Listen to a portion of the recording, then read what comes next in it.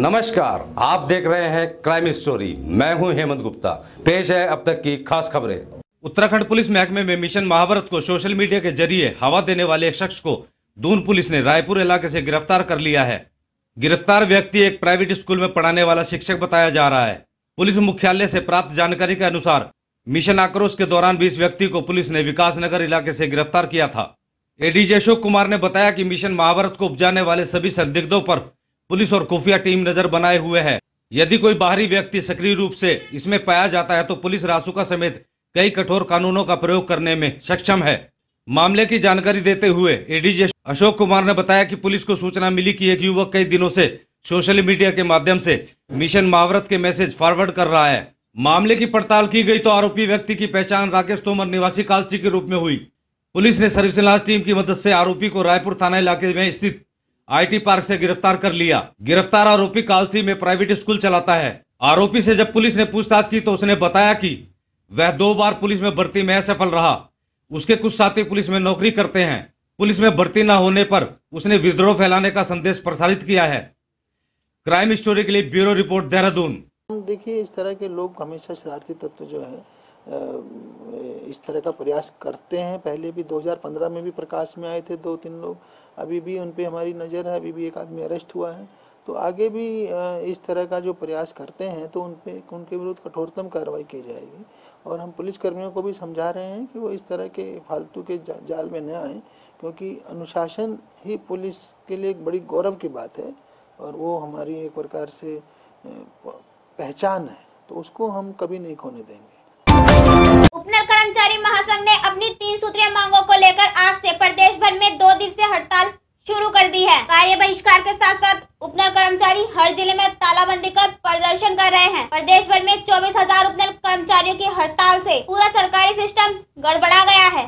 अस्पतालों में काम प्रभावित हुआ है। दफ्तरों में सन्नाटा पसरा है। प्रदेश भर में उत्तराखंड पूर्व सैनिक कल्याण निगम लिमिटेड, उपनल के तहत करीब चौबीस हज़ार कर्मचारी आउटसोर्सिंग व्यवस्था के तहत विभिन्न विभाग, विभिन्न विभागों में सेवाएँ दे रहे हैं। इसमें हर तरह के कर्मचारी शामिल हैं। वेतन वृद्धि की मांग को लेकर कर्मचारी आज हड़ताल पर चले गए हैं। हड़ताल का व्यापक असर देखने को मिला है। कर्मचारी की हड़ताल के कारण मरीज़ मुश्किल में हैं। दून मेडिकल कॉलेज अस्पताल में मरीजों को कई स्तर पर परेशानी झेलनी पड़ी।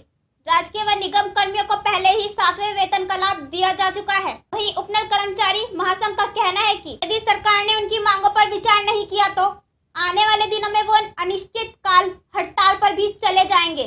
क्राइम स्टोरी के लिए ब्यूरो रिपोर्ट देहरादून। उपनल कर्मचारी महासंघ दो दिवसीय हड़ताल पर है। आज जनपद स्तरीय प्रत्येक जनपदीय स्तर जनपद स्तरीय हड़ताल पर है। अ, कर्मचारी महासंघ समान काम समान वेतन एवं सुरक्षित भविष्य की नियमावली बनाए जाने को लेकर पूरे प्रदेश में हड़ताल पर है। यदि सरकार द्वारा इन दो दिनों के बाद भी उपनल कर्मचारियों की मांगों के हितों में कोई कदम नहीं उठाया जाता है तो उपनल कर्मचारी महासंघ को विवश होकर अनिश्चित काल हड़ताल के लिए बाध्य होना पड़ेगा। पूर्व विधायक राजकुमार के नेतृत्व में कांग्रेसी ने निगम में जमकर हंगामा करते हुए कहा कि देहरादून नगर निगम में परिसीमन के लिए जो सीमा विस्तार किया गया है वह गलत है। इसमें वार्डो को गलत तरीके से जोड़ा गया है। अलग अलग सीमाओं के तहत कई जगह से इन वार्डों को हटा दिया गया है तो कई जगह गलत तरीके से जोड़ा गया है जो कि एक बहुत गंभीर विषय लिहाजा सरकार इसे फिर से सही ढंग से परिसीमन कर सही तरह से जोड़े।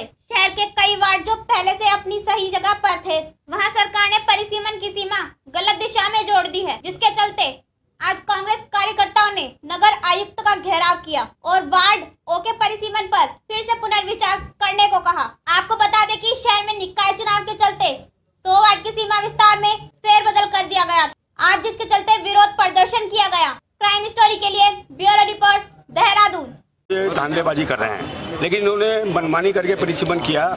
आज शहर देहरादून ही नहीं, पूरे नगर निगम के नाम पर इन्होंने उत्तराखंड में ऐसे वार्ड काट दिए हैं, जहाँ पर अधिकांश कांग्रेसी पार्षद थे, उनको चार चार भागों में बांट दिया और कई वार्ड तो ऐसे खत्म कर दिए हैं, जिनका नाम ही हटा दिया है। आज घंटाघर वार्ड देख लीजिए, उसको इन्होंने बिल्कुल उसका नाम ही हटा दिया, उसको चार भागों में बांट दिया है। ऐसे भगत सिंह कॉलोनी, नेहरू ग्राम और आपका शहर बिल्डिंग को कहीं से कहीं मिला दिया। तो उसके विरोध में हम आज एम से मिले हैं और हम अभी डीएम साहब से भी मिलने जा रहे हैं, क्योंकि हम इन अधिकारियों पर विश्वास करते थे कि हमारा हमारे साथ न्याय होगा, लेकिन जब इन्होंने परिसीमन का खाका हमारे सामने दिया तो उसमें सारे तहस नहस कर दिया और अधिकांश इन्होंने राजनीतिक लाभ उठाने के लिए उसको काटा गया है और ऐसी ऐसी जगह काट दिया है जिसका कोई सिर नहीं होता। हम इसके विरोध में कोर्ट भी जाने की तैयारी कर रहे हैं, जब अगर इन्होंने सुनवाई नहीं की।